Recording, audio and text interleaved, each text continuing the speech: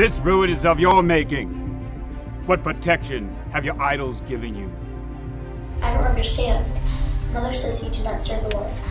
She says you do not have a kingdom. You know nothing of it. These are not bandits that plague you.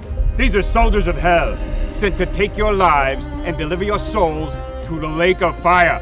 No. They cannot have my boy.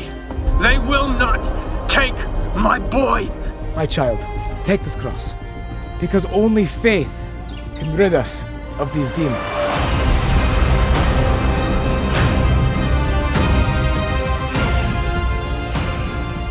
I killed one. It was just a man. I was doing God's work and you ruined it! Just like you ruin everything! You always ruin everything! Thomas, run! Run! I will save you!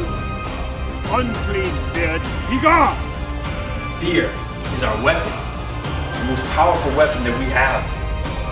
You do not know what this is, do you? All lies. I'm sick of being a monster. Your path to heaven grows ever clearer.